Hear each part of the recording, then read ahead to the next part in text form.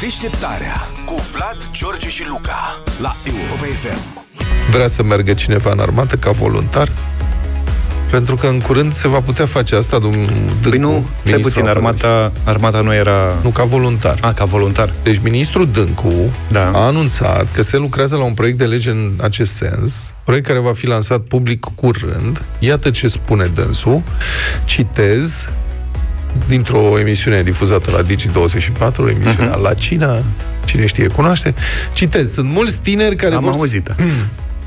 care vor să aibă o pregătire militară. Se accentuează acum cu ceea ce se întâmplă în Ucraina. Se accentuează această dorință a tinerilor de a avea un minimum de pregătire militară, a declarat Vasile Dâncu. Deci nu armată obligatorie, dar un program în care cine dorește, tinerii zice dânsul, nu știm până la ce vârstă tânăr, uh, tinerii se pot înscrie și cei care se vor înscrie în acest program vor fi plătiți și li se vor asigura toate condițiile, inclusiv că vor putea merge acasă.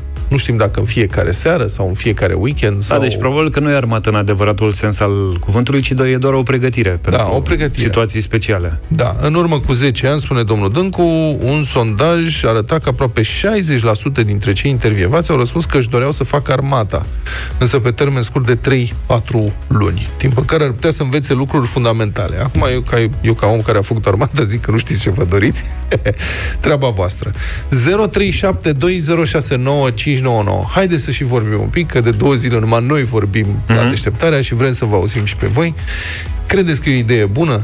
un astfel de program și pentru ce bani, dacă ar fi să fie. Eu la asta mă gândesc, adică dacă ar trebui cineva, dacă ar fi să mă duc în armată acum, prima întrebare ar fi cât plătești, că serios? De ce ai face eu pentru niște bănuți? Te întoarce în armata? Nu, n-aș face-o nici pentru bani. N-ai Mulțumesc. face-o. Eu am făcut. Mulțumesc. Da, da, ai făcut. Dar tu, Luca, ai putea să te oferi. Voluntar. Pe vremea fostului regim, adică eu cred totuși că s-au schimbat lucrurile. Acum se joacă paintball, suntem în alt film. Sper din toată inima că s-au schimbat, că dacă nu e mai rău ca la pușcărie, adică pe vremea era pușcărie. Bun, deci 0372069599.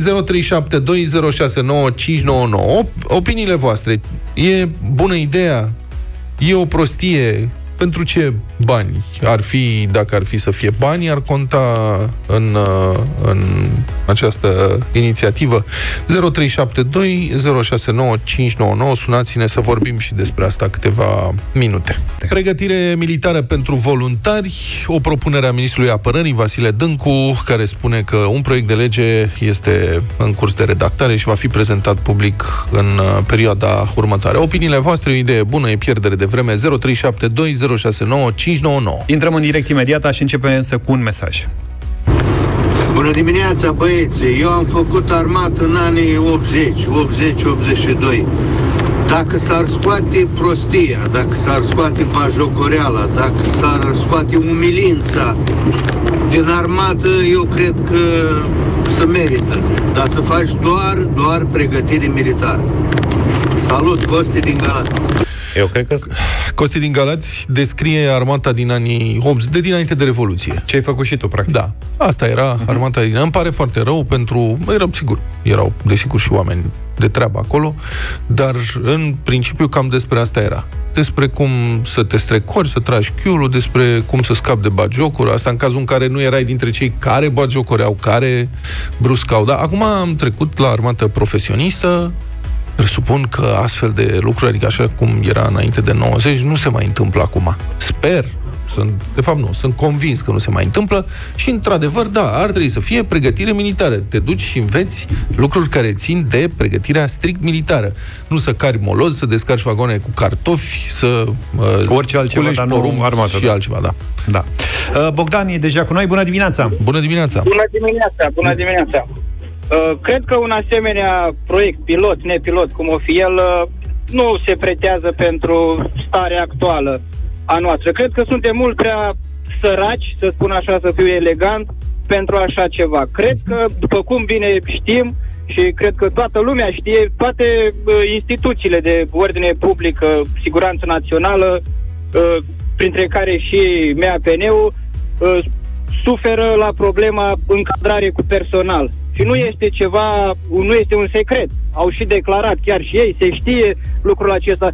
Și cred că un consum de resurse pentru a instrui niște oameni care nu cred eu că sunt chiar foarte interesați de a avea o pregătire, ci mai mult o simplă curiozitate, chiar nu se, nu se justifică. Consider că uh, deblocarea anumitor posturi și uh, organizarea de concursuri, chiar num- mărirea numărului de locuri la școli ar fi mult mai, uh, mult mai util pentru a încadra definitiv sistemul. Pentru că o încadrare cu, cu personal uh, pregătit într-o școală sau încadrat pe baza unui concurs, care ulterior va avea un contract și va, va oferi anumite servicii pe termen lung uh, instituției, cred că ar fi mult mai util. Așa să ne jucăm de a, uh, imaginea publică, facem noi uh, școala micu cercetaș sau mai știu ce prostii de genul, nu, chiar nu se justifică. Suntem mult prea săraci pentru asemenea uh, proiecte și Am cred înțeles. că mai Bogdan? întâi, mai întâi ar trebui să avem noi un, uh, un sistem și personal foarte bine pregătit Mhm. la un nivel la care să considerăm că, băi, nu mai este nevoie de pregătire, hai să instruim și pe alții, să ne jucăm de-a școala. Cred că abia atunci am putea vorbi despre uh, voluntari și așa mai Am departe. înțeles. Bogdan, poți să te întreb, ești, lucrezi în sistem cumva? Sau ai lucrat în sistem? Uh, să spunem că da. Mulțumesc mult, Bogdan. Știa despre ce vorbește. Da. Mulțumim, Bogdan. Uh, George, Neața. Salut, George. Bună Părerea ta. dimineața! Părerea ta. Uh, Părerea mea este, eu am 29 de ani Da. și n-aș fi de acord, adică noi măcar tinerii să fim în ziua de azi chemați în armată sau măcar voluntari. E o De ce diferență spun totuși. acest Una e lucru? să fii recrutat și alta să fie o posibilitate pentru cine dorește să se ducă să 3-4 luni să învețe chestiuni de tactică militară. Că Nu cred că se face strategie, dar mă rog. Da, n-aș fi, eu unul ca cetățean nu m-aș duce pentru că e mai bine acasă să stai decât să te duci acolo și poți să nu te mai întorci de acolo. Uh-huh. Că nu știu cum este și n-am fost niciodată. Mhm. Nici nu-mi Ok. doresc. Nu nu prea ai curiozități în viață, a? Nu. Ok. Acasă e cel mai bine. Muncești pe lângă gospodărie și așa, că eu sunt de la țară. Vă spun drept. Bine, domnul George, trăiește mulțumesc. bine. Mulțumesc foarte bine. Îmi Mulțumesc foarte mult. Să trăiești. Mi- Mihai, bună dimineața. Mulțumesc. Salut, Mihai. Neața, salut băieți. Te rog. Neața. Uh, în primul rând, nu știu, domnul prim-ministru, Nu, domnul Dâncu. domnul, zis asta. mă rog, nu prea urmăresc așa. Ministrul dar acest apărării. program Deja, am înțeles. Deja acest program este implementat, să știți, în cadrul armatei române. Mhm. Sistemul de voluntariat este activ. Mhm. Oricine dorește, când sunt posturi scoase, se poate încadra ca voluntar, se poate lucra în același timp și în particular sau avea un job normal. O dată pe an, o lună de zile, trebuie să se prezinte la instrucție la poligon sau unde se face instrucția, angajatorul fiind obligat de către statul român să-i dea dreptul să plece la instrucție. Cred că domnul ministru Acum, vorbește de o extindere a acestui sistem O și o extindere, particularizare a da, lui da. pe o perioadă strictă, clară, 3-4 luni și cu asta basta. Adică nu dacă se scoate vreun post pe undeva liber sau Iar, ceva. din punctul meu de vedere, da, e ceva util, Mhm. pentru că mi se pare normal ca și, ca și bărbat uh, să, cum- bine, am fost, am făcut armata la jandarmi, dar ca orice tânăr să știe să folosească o armă de foc, să știe să primească un ordin în caz de conflict armat. Adică ne-ar ajuta ca țară, ca societate, nu? Da. Bine. Mulțumesc uh, foarte mult. Sunt țări foarte avansate care au sistemul acesta de voluntariat.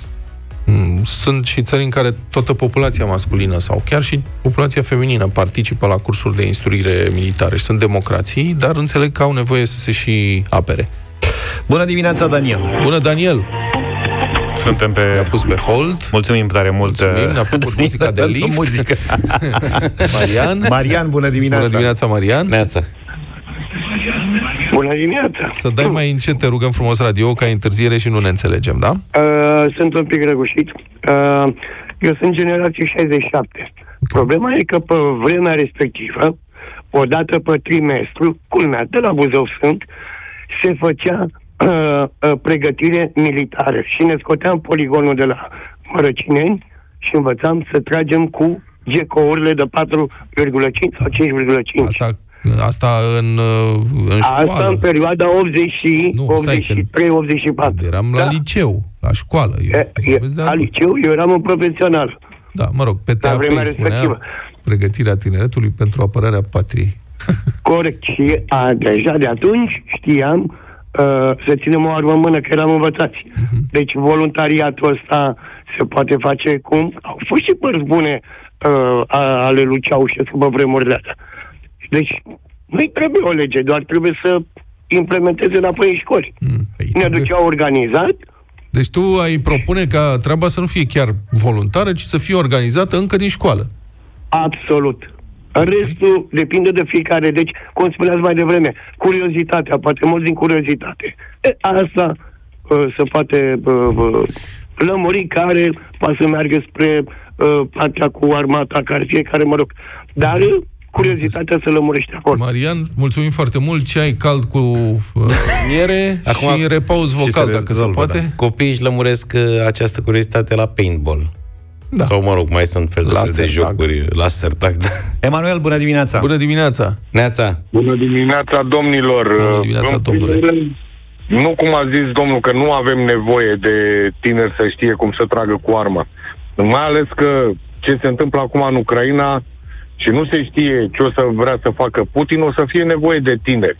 Da. Iar după mine, uh, în orice țară am fost, am văzut, există tabere de instruire.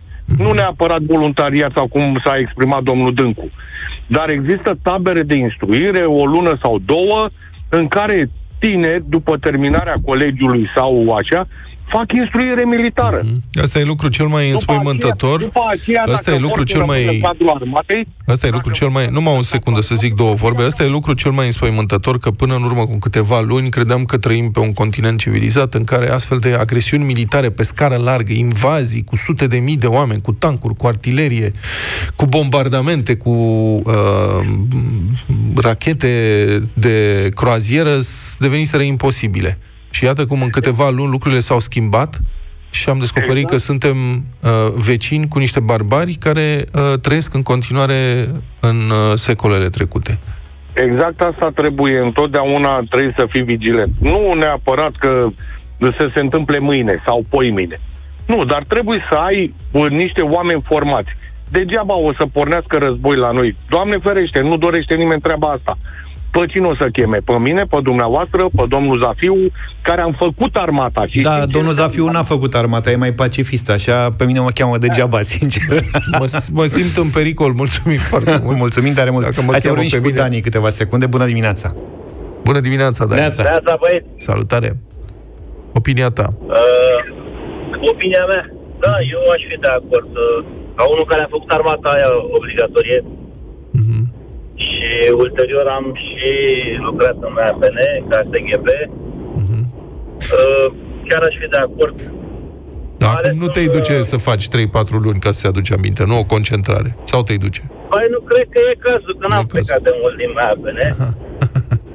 am fost o poliție militară, Mhm. se făcea instrucție, chiar și acum. Perioada asta. Dar în context Acum, Mulțumim mult! Cei care au făcut armata și s-au și însurat au de ales, știi? Poți face comparație cu unde e mai bine, da. acasă sau mă duc 3-4 luni la armată, fac niște instrucții și mă descurc. Da, eu cred că e o idee bună. Și dacă pot fi alocate niște resurse pentru asta, de ce nu? A, Primul nostru interlocutor a avut dreptate. E o chestie de resurse, ești organizare. Adică dacă vrei să risipești ceva, că faci o prostie, și așa Poți să o se- faci. Ceva, da. Ceea ce se poate întâmpla, adică are șanse mari să se întâmple în țara noastră. Da, dar suntem țara NATO, avem armată profesionistă și, în principiu, folosind experiența altor uh, țări, cred că am putea implementa sau s-ar putea implementa în România un sistem dintre ăsta de voluntariat care să aibă un număr limitat de locuri, desigur, um, dar care să funcționeze și să se adreseze celor care simt că vor să facă asta pentru ei și pentru țara lor. Deșteptarea cu Vlad, George și Luca la Europa FM.